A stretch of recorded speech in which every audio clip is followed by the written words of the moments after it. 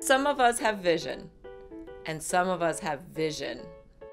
I'm Julie Musog. Join me at the BWI Partnership Signature Breakfast on September 6th as I moderate a panel of development visionaries as they discuss the future of the BWI region.